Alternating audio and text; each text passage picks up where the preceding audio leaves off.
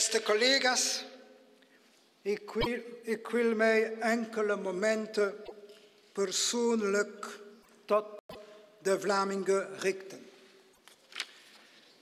De eerste minister moet de eerste minister van alle Belgen zijn en dus uiteraard ook van alle Vlamingen.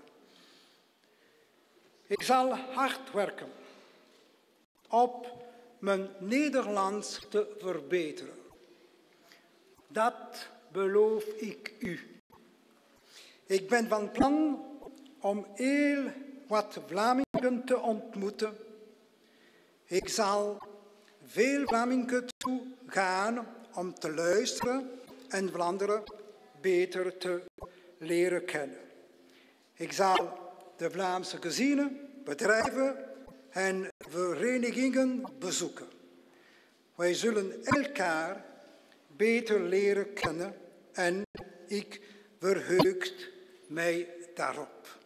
Ik zal heel hard werken om u niet te ontgoochelen, maar ik vraag u een beetje geduld en begrip.